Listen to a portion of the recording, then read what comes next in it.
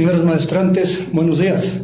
Les saluda el doctor Juan Toscano Garzón, profesor del módulo La ejecución de los fallos. Como primera indicación, los debo decir que las tutorías se realizarán los días martes y jueves desde las 18 horas a 20 horas.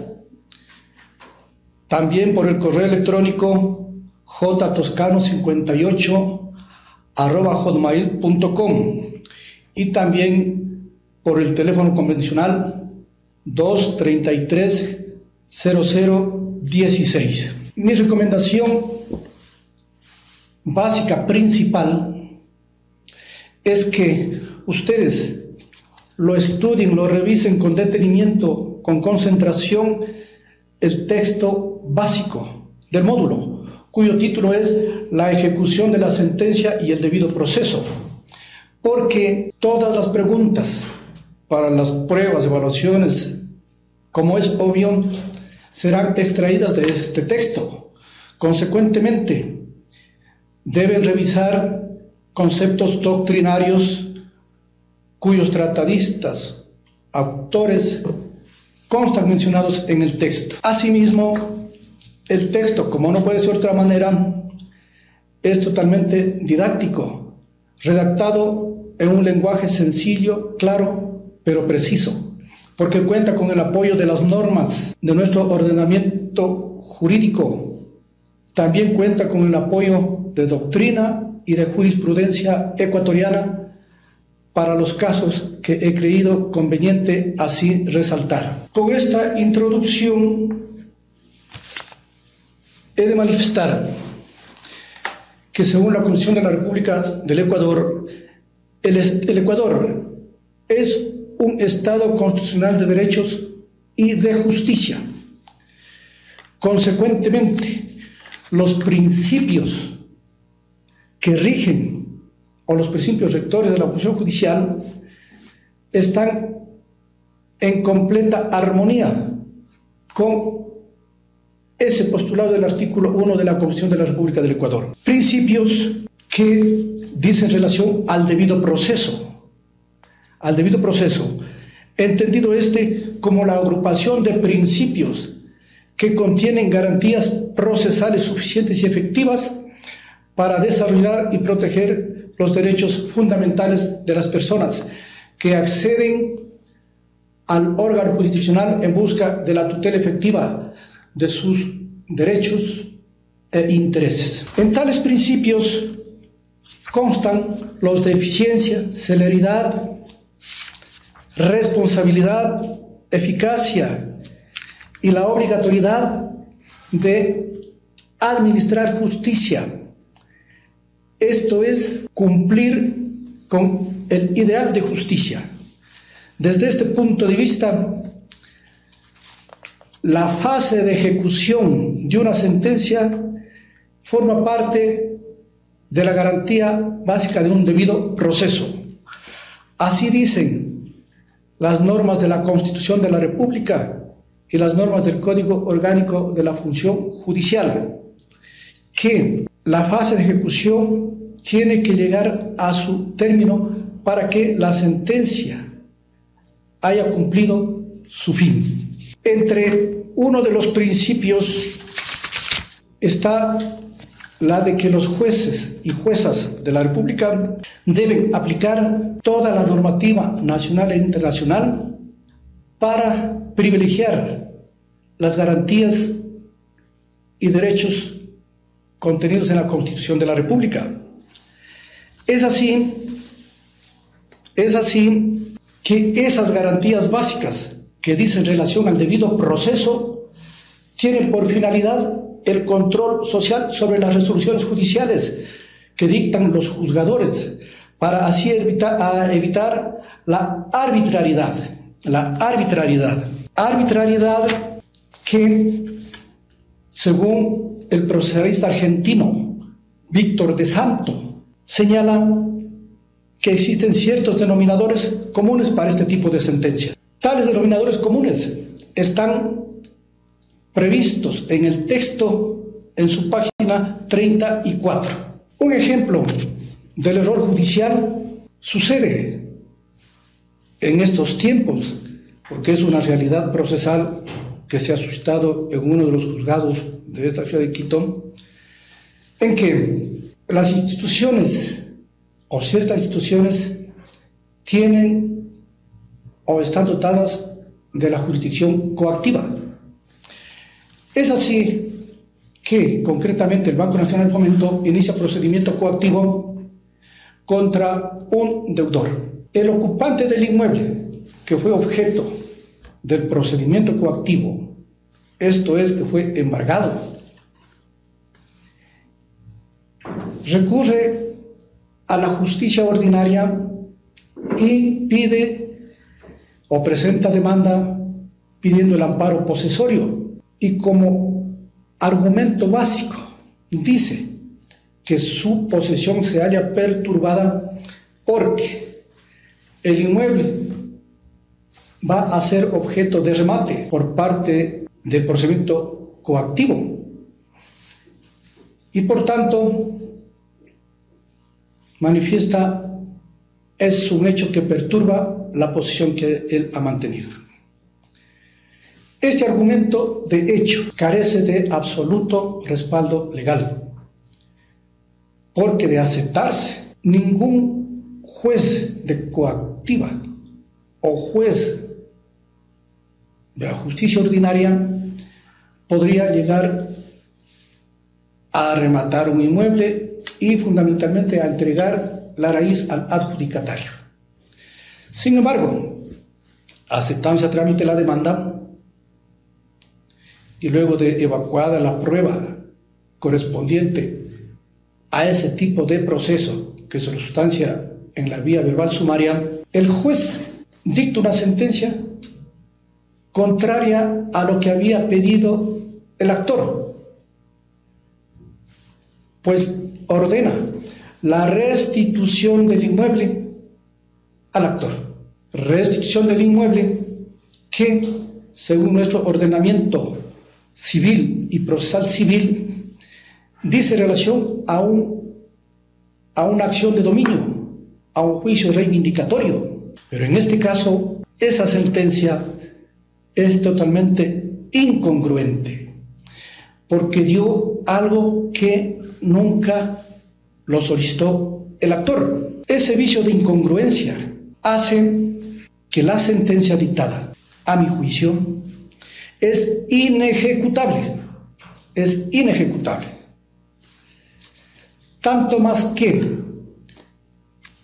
aquel inmueble fue enajenado, porque así lo permite el artículo 1000 del Código de Procedimiento Civil, fue enajenado por el adjudicatario de esa raíz a una tercera persona. Y se pretende que esa sentencia arbitraria que peca de ese vicio de incongruencia se la ejecute contra una tercera persona que no fue parte del litigio. Como ustedes conocen, las sentencias dictadas afectan o se las aplica a las personas que intervinieron en el litigio, mas no a terceras personas. Víctor de Santo, entre uno de los denominadores comunes a este tipo de sentencias arbitrarias, dice que es aquella resolución que adolecen de omisiones, errores y desaciertos de gravedad extrema que los tornan inhábiles como actos judiciales. La sentencia del comentario, a no dudar, crea inseguridad jurídica para el nuevo adquirente de la raíz, porque se violentó un procedimiento, porque el juez, al disponer la restitución de la raíz, lo hizo en un proceso que se sustanció en la vía verbal sumaria. Cuando esa restitución, en caso de que hubiera sido procedente, tuvo que ser sustanciada en la vía ordinaria.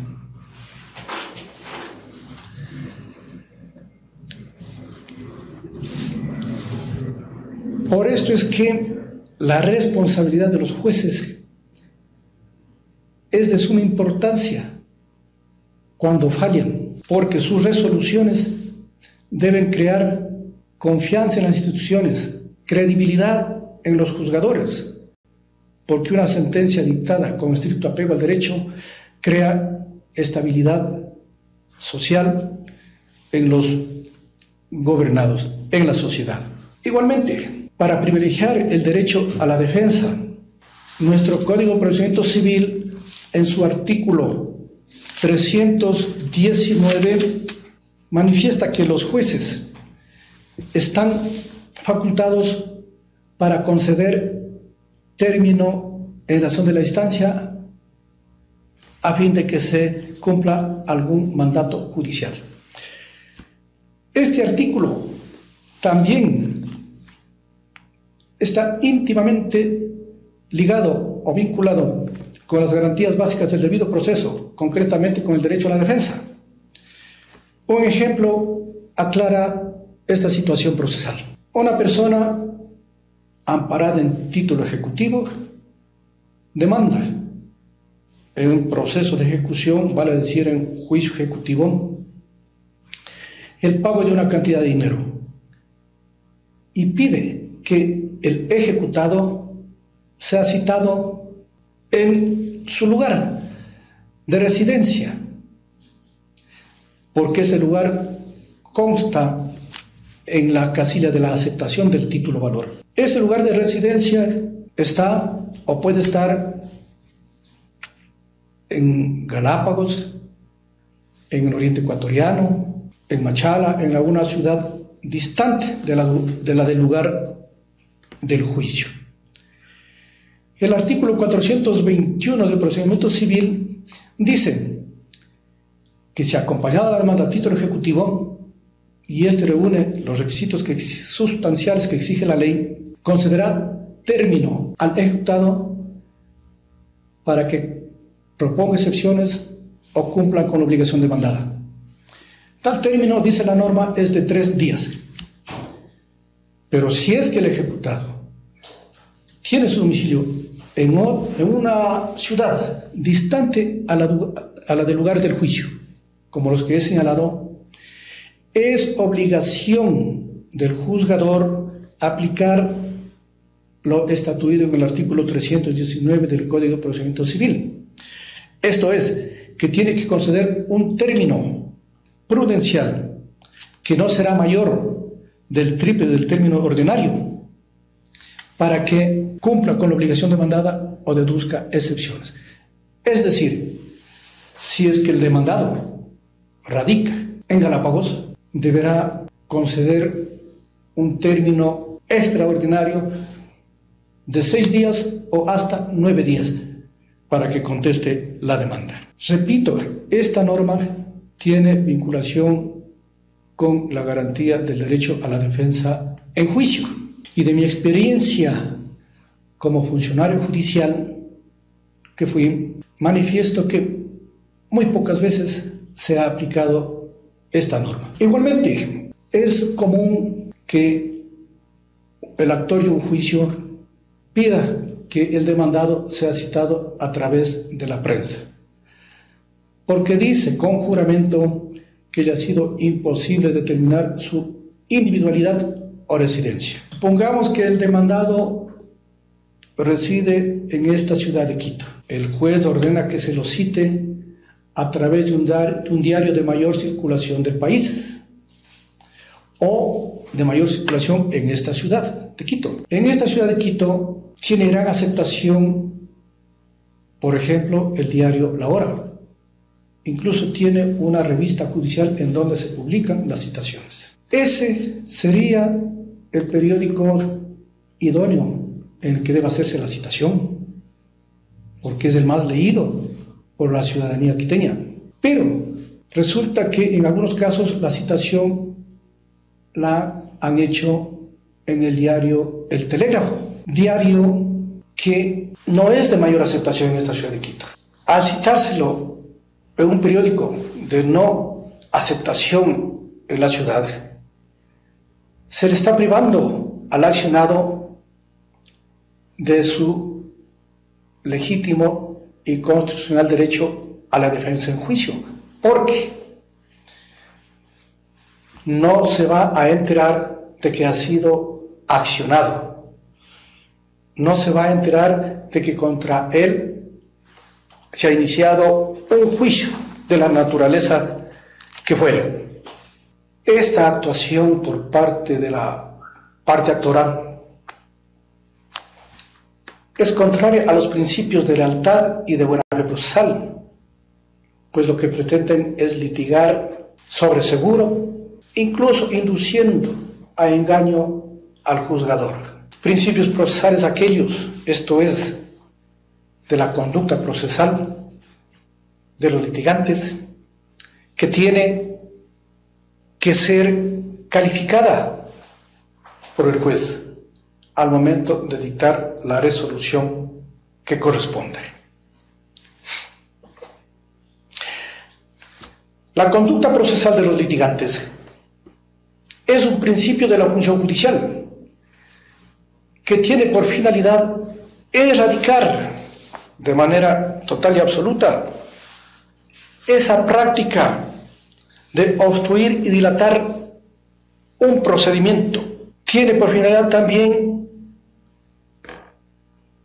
rechazar la generación de obstáculos o incidentes que tienden a la normal prosecución de la causa. Si bien es cierto, el acceso a la Administración de Justicia es gratuito, sin embargo, a ese principio de gratuidad de la Administración de Justicia tiene su excepción, cuál es el de las costas procesales costas procesales que las debe pagar el litigante que haya actuado contra los principios de lealtad y buena fe procesal. Costas procesales además que pueden y deben ser impuestas a los defensores de las partes. Está en vigencia el reglamento para la aplicación del régimen disciplinario de los abogados y abogadas en el patrocinio de las causas. Y en su artículo 10, que trata de la interpretación de las normas disciplinarias, dice que la finalidad del proceso es la prevalencia de la justicia, la efectividad del derecho sustantivo, la búsqueda de la verdad material y el cumplimiento de los derechos y garantías de las personas que intervienen en el procedimiento disciplinar. Así es, esta norma clarifica el tema que trato este momento, que es de la conducta procesal. Es de esperar que los profesionales del derecho, los litigantes y cualquier persona que pasa a ser vinculado en un procedimiento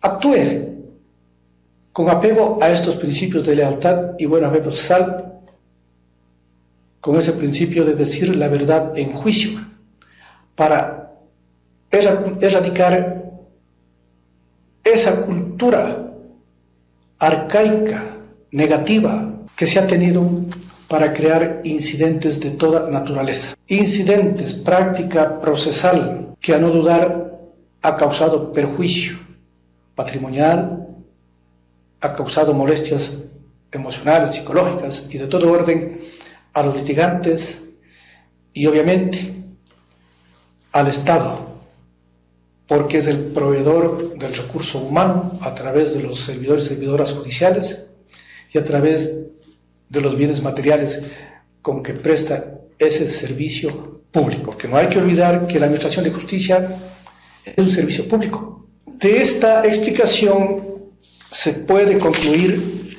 que la mala fe procesal existe cuando hay el propósito deliberado de obstruir y dilatar la normal prosecución de la causa.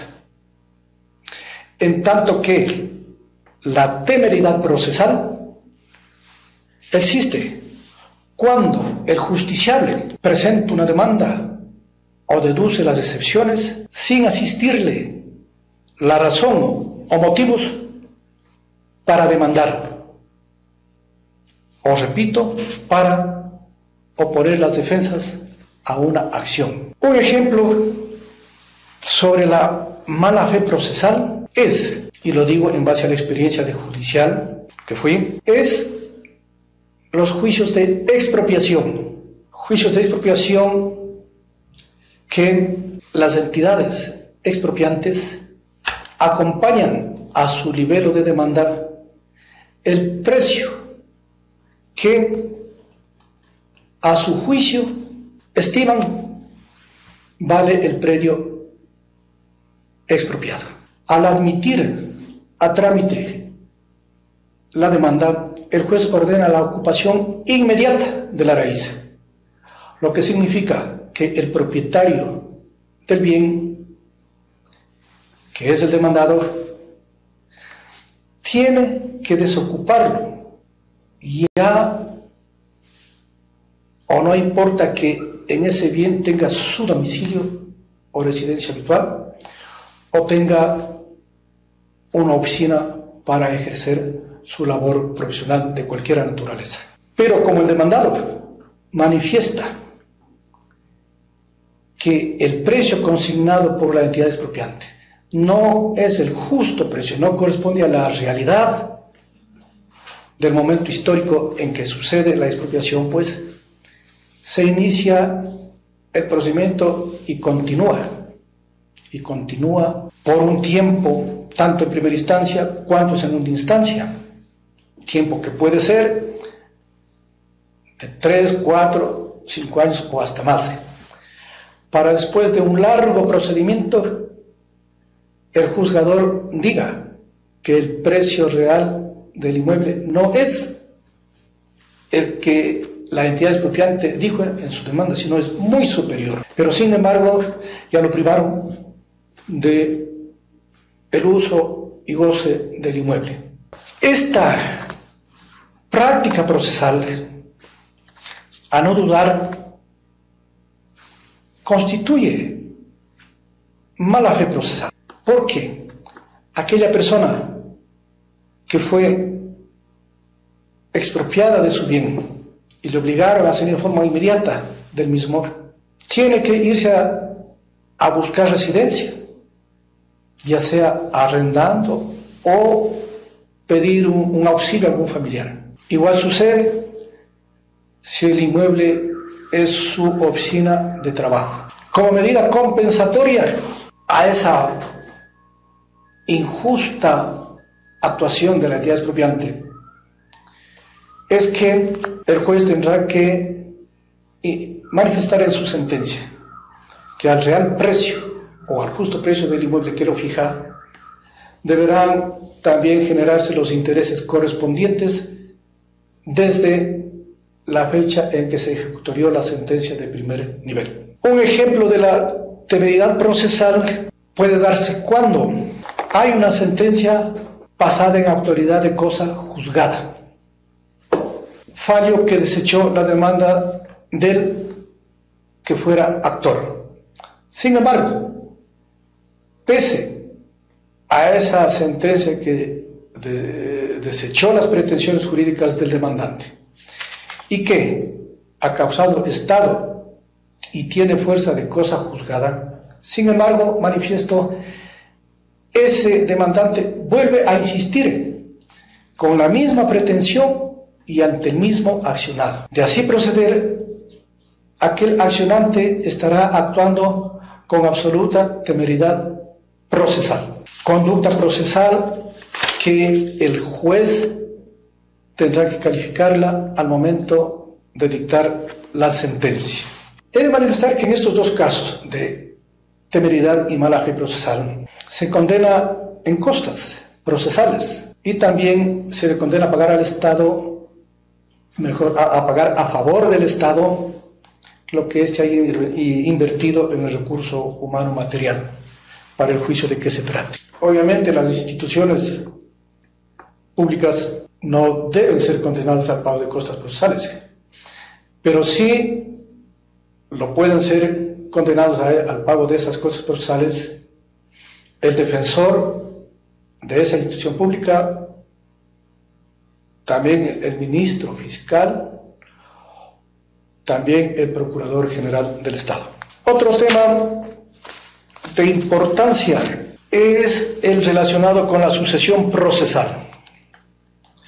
Sucesión procesal que consiste en el reemplazo de una parte procesal por otra en la titularidad de una posición jurídica,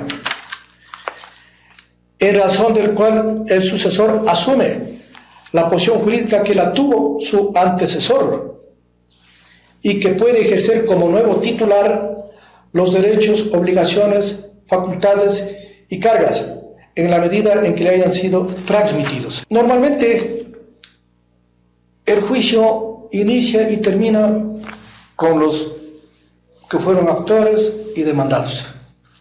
Pero puede resultar que en el decurso del procedimiento fallezca el actor o uno de los actores o el demandado o uno de los demandados.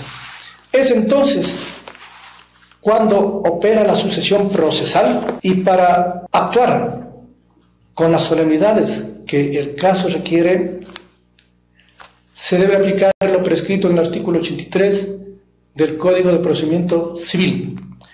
Esto es que, conocedor el juez del fallecimiento de uno de los litigantes, deberá ordenar que se publique por la prensa y por una sola vez una notificación del proceso de que se trate a fin de que los herederos presuntos y desconocidos o conocidos de aquel de Cujus puedan comparecer al juicio y tomarlo en el estado en que se encuentre.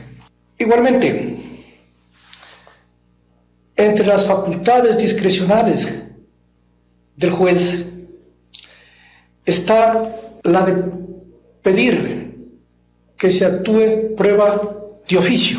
Pero esta prueba, que es de carácter procesal, pertenece al orden público por lo que la finalidad de este tipo de prueba de oficio únicamente deberá pedirla o practicarla el juez cuando trate de aclarar alguna confusión o alguna duda que tenga sobre algún medio probatorio. Es decir, no puede, a través de la prueba de oficio, no puede ni debe suplir la omisión que hayan incurrido cualesquiera de los litigantes, porque en tal caso ese juez estaría actuando también como parte procesal. Y esta conducta del juez debe ser también observada por los litigantes, a fin de que actúe con estricto apego al Código de Procedimiento Civil, normas que, como repito, son de derecho público y de cumplimiento obligatorio por parte de los justiciables y de los jueces, sin que ninguno de ellos pueda evadirlas o incumplirlas en sus mandatos. Tratando otro tema, me he de remitir a las medidas cautelares, medidas cautelares que se dictan fundamentalmente en los procesos de ejecución, vale decir, en un juicio ejecutivo. Medidas cautelares que deben practicarse en forma prioritaria para asegurar el cumplimiento de una obligación. Y una vez practicada la medida cautelar de que se trate, solamente ahí será citado la parte demandada. Así dispone y ordena nuestro Código de Procedimiento Civil, que, como insisto, el articulado correspondiente de todos estos temas que voy tratando, se hallan enunciados y transcritos en el texto básico. En la fase de ejecución, o mejor dicho, para que se inicie la fase de ejecución, a decir del tratadista Alcina, exige estos requisitos. que la sentencia se halle ejecutoriada, que si tiene un plazo para el cumplimiento de una obligación, se encuentre vencido ese plazo y que se requiere petición de parte legítima para proceder a esa fase de ejecución. Es decir, que también se puede obviar esa fase, de ejecución cuando el condenado, el demandador, voluntariamente acata el cumplimiento del juez sentenciador y lo cumple en forma oportuna. En tratándose de las obligaciones de dar, esto es, de pagar una cantidad de dinero, la fase de ejecución conlleva tres fases o etapas. La primera, que es la aprehensión o embargo de bienes, cuando el ejecutado no acata o no cumple el mandamiento de ejecución. La segunda fase es el avalúo de los bienes embargados y su venta en pública subasta. He de indicar que cuando se llega a estas instancias procesales, el juez es el representante legal del ejecutado. Y la tercera fase de ejecución en este tipo de obligaciones de dar es el pago a los acreedores con el producto del remate, con el producto de la subasta pública o con el producto de la venta judicial, como se le conoce procesal y doctrinariamente.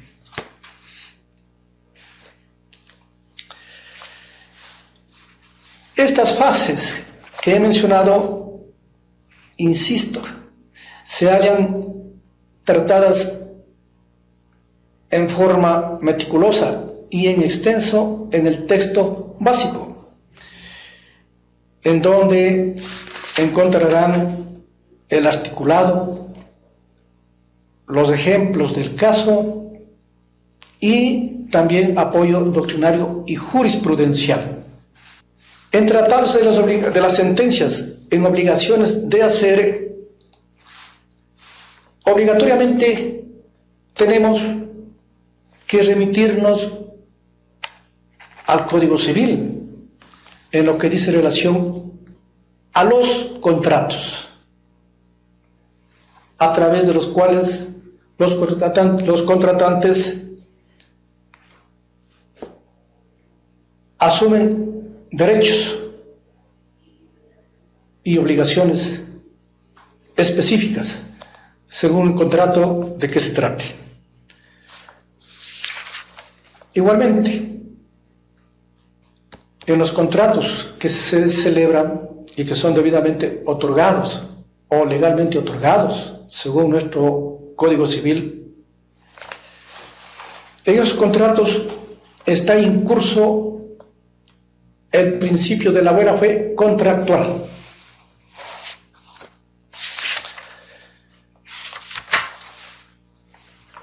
Un caso, un ejemplo muy común para este tipo de obligaciones de hacer es el contenido en las promesas de compra-venta de una raíz, de un inmueble.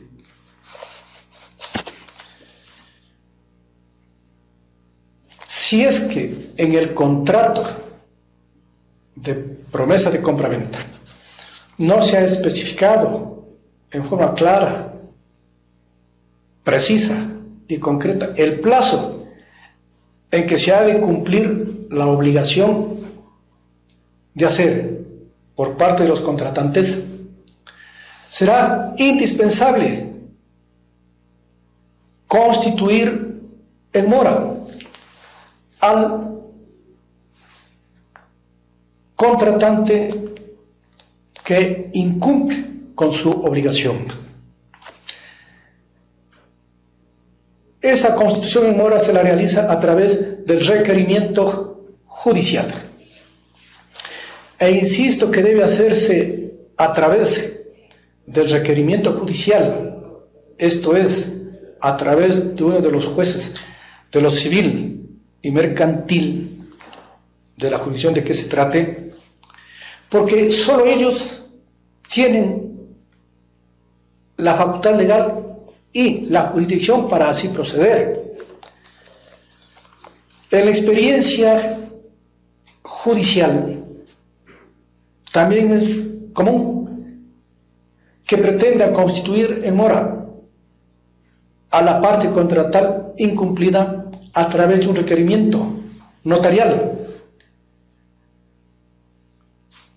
Pero tal requerimiento no surte el efecto jurídico que exige nuestro Código Civil, porque los notarios no están revestidos de jurisdicción, no tienen jurisdicción, la ley no les ha otorgado jurisdicción.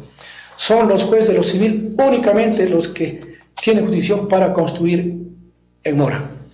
La obligación de hacer, en el ejemplo que manifiesto, consiste en la suscripción de la escritura pública de, de, compra-venta.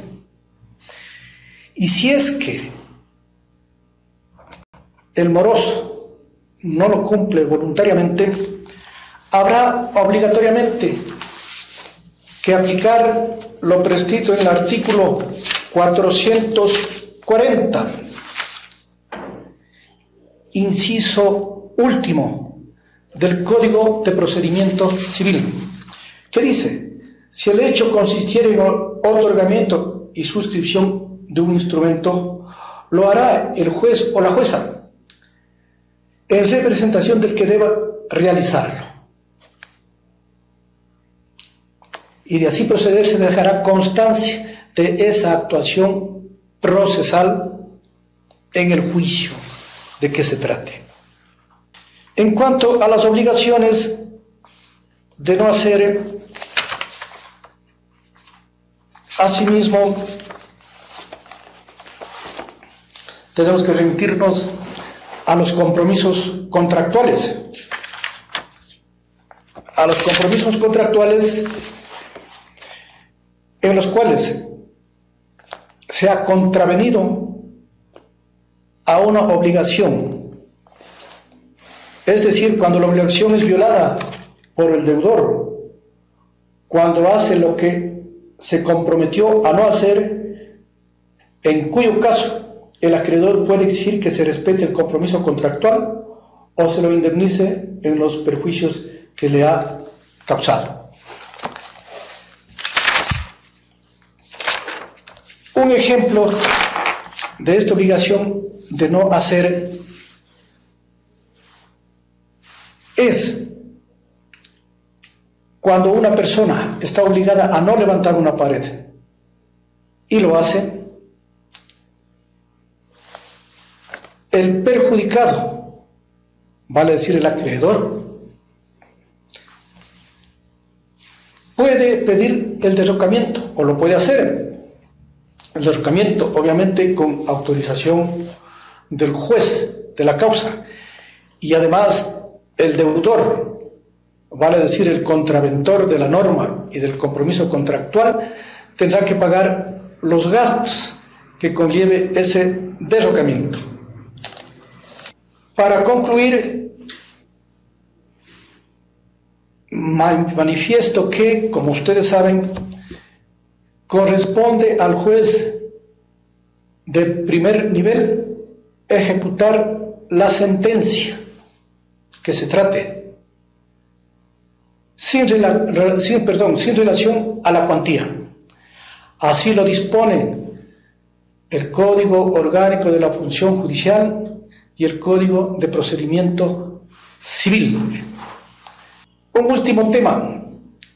En el caso de homologación de sentencias dictadas en el extranjero, por la experiencia de funcionario judicial, se tuvo que personas que se habían casado aquí en el Ecuador, habían celebrado, ah, celebrado contrato matrimonial en el país. Al viajar a otros países como consecuencia de la migración, han conseguido en aquellos países extranjeros que se disuelva el vínculo matrimonial celebrado aquí en el Ecuador. Sin embargo, tales sentencias no deben ser homologadas porque contraviene a lo prescrito en el artículo 129 del Código Civil, que dice, cuando uno de los códigos fuere ecuatoriano, no podrá anularse ni disolverse por divorcio el matrimonio contraído en Ecuador, sino mediante sentencia pronunciada por jueces ecuatorianos. Esta norma concede única y exclusivamente a los jueces ecuatorianos, como no puede ser de otra manera, la jurisdicción y competencia para disolver el vínculo matrimonial de personas que se hayan casado aquí en Ecuador. Mas no da competencia alguna que un juez extranjero que un juez extranjero disuelva ese vínculo matrimonial, porque contraviene al derecho público interno de nuestro país. Por ello, para no causarse perjuicio a aquellos migrantes que desconocedores de la ley proceden como dejo indicado, lo correcto es que deban tener un asesoramiento a través de los consulados, a través de las secretarías de los migrantes. Y la solución es simple, que aquellos compatriotas que han tenido que viajar al extranjero en busca de mejores días para ellos y su familia, otorguen un poder, ya sea a un abogado o a un familiar, para que con ese poder puedan demandar aquí en el Ecuador la disolución del vínculo matrimonial de que se trate. Así se los evitaría de incurrir en costos y gastos onerosos. Por ser poderes otorgados en el extranjero, si ese poder es dado a una persona que no es profesional del derecho, tiene absoluta validez aquí en el país. Porque así lo permite nuestro Código de Procedimiento Civil, según el inciso último del artículo 40 de nuestro Código de Procedimiento Civil. Señores y señoras maestrantes, culmino esta exposición no sin antes agradecerles la atención que me han brindado y estoy seguro que he creado en ustedes inquietudes, inquietudes procesales que a no dudar los va a servir en el ejercicio de la noble profesión de abogados y abogadas, ya sea asesorando a instituciones públicas o privadas o asesorando a las personas naturales o jurídicas que requieran de sus servicios profesionales. Es hora de que el ejercicio profesional se lo haga con dignidad, con altura, con decencia, con respeto mutuo, porque sólo así elevaremos el nivel de conocimiento de todos los profesionales del derecho. Sólo así rescataremos la imagen de la función judicial. Solo así la sociedad creerá y tendrá confianza en los servidores y servidoras judiciales. Y solo así el profesional del derecho tendrá el sitio que se merece en la sociedad ecuatoriana. Nuestra profesión es una profesión social humanista que por estar al servicio de la sociedad tiene la ventaja de conocer y adentrarse en los problemas humanos de la gente. Y nosotros tenemos la obligación de coadyuvar con la Administración de Justicia a través de nuestros conocimientos y a través de un ejercicio profesional correcto, honesto y acertado. Gracias, señores estudiantes.